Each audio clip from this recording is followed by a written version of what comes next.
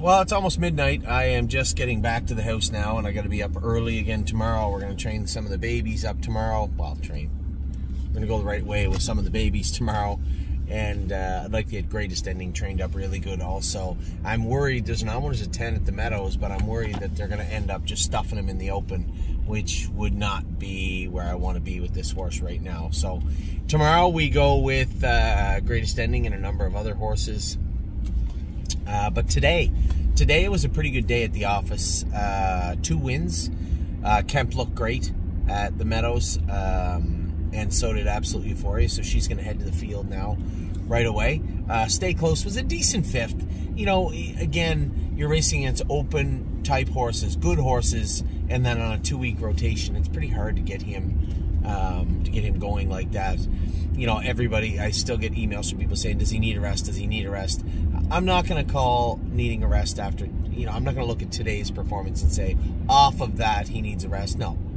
Let's let the horse race down a class next week, and then we'll decide what we're going to do with him. We're going to rest him at some point. Fine. Um, you know, there will be uh, a tipping point at some point where stay close and per lucky and those horses are probably offered up for sale later on. There's no need to do it right now, but uh, later on when when uh, Perlucky's meet starts to get close at uh, at Indy at Illinois in Illinois. That's not till almost February. I'm just saying, as we get further down the line, there will be uh, there will be a time to move some of these horses, especially when we start to bring in new horses like uh, Texong Soprano that we purchased yesterday, a younger horse, younger horse with lots of upside. Um, you guys know that. I don't have to tell you that. So happy with everybody, and I was happy with Stay Close. Then I made it all the way back for Coop. Coop was good, just beat. She was a little pinchy on her right hind after, which I hadn't seen before. Uh, so we're going to keep a close eye on that, see what went on with her tonight. Um, uh, but, you know, she's had such a tremendous year, been such a nice horse for us. And as I keep saying to everybody, one way or another, uh, we'll get paid for her. If I have to hang on to Coop and, uh, and Breeder, then so be it. Um, then so be it. So um, that was Coop. Third race good again. Again, what eight, nine starts, something like that in a row where she hasn't missed the board. Only out of the top three one time, and that was tonight when she was third, beat what a half a length, a quarter of a length.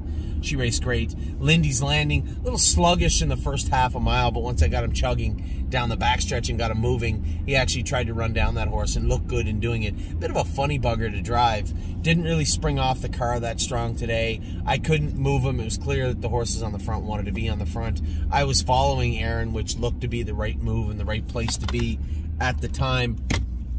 And then, uh, and then, um, uh, get it tomorrow. And then, um, Aaron's horse sprung first, and Aaron's horse is a good horse. Racing in sire stake horses this year, no joke.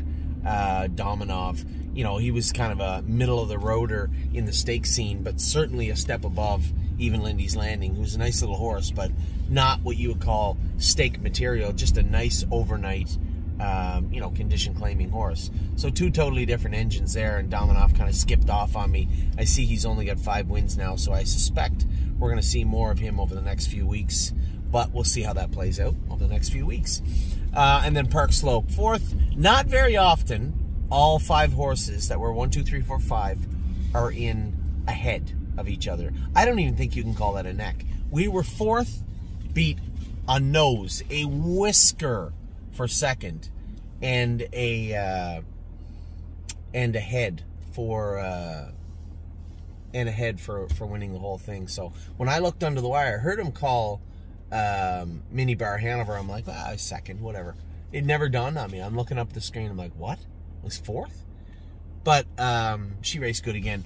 Some stuff to work on with her. Left line hard in the straightaways. Now we put an open on her. I could see that that's why that was. But what does she do if I put the Murphy on the outside? Does she run in now? Is she worse at doing that? I don't know. But there's going to have to be some mechanical uh, adjustments done with her, I think. Little pacey going up to the gate, little pacey when she's doubled up. Her tail popped up at the quarter pole. There was a lot that went on in that race today that I noticed just physically from the filly. The tail popping up is usually a pretty good sign that maybe she's a little crampy. Want to get that blood work done again tomorrow and get a closer look at her AST. And I guess her GGT also. When I moved her, it looked like she was going to scream past them. Then she kind of hung out down by the wire Again, that tail up in the air, hanging on the left line, a little scrambly in spots. There's so much we can improve on with this filly over the next little while. It's going to be exciting because I, I know I've seen all this happen before. Little by little, we can make incremental changes that will help her, and I'm very interested to see how they're going to play out. Um, how they're going to play out in the, the coming weeks and I guess months. Uh, not too long. She is scheduled to be bred. We are aiming some of our horses. We were trying to breed uh, or sell uh, Coop as a brood mare, but again, she will be bred whether it's from us or somebody else in the new year. Park Slope will be bred in the new year. Um, I don't think we have any more that are slated to be bred in the new year other than the mares that we have right now.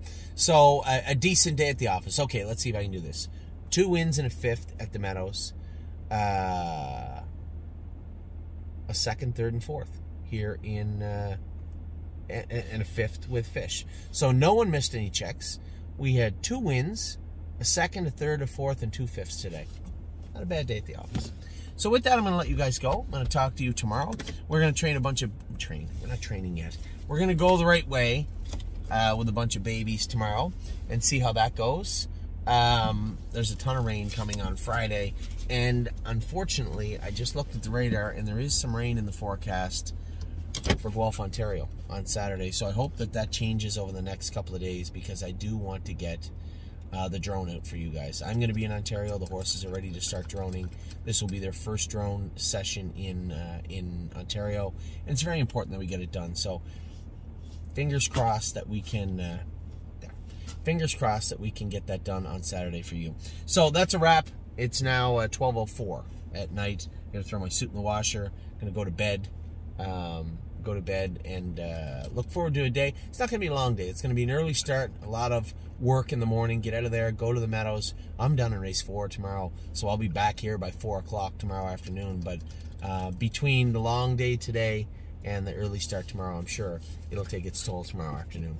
Anyway, wouldn't change it for the world. We had a great day at the office, as I said, and hopefully we have a great day tomorrow again. Good luck to my partners tomorrow. We have Think of Galaxies and uh, Delicious Stone DK. Good luck.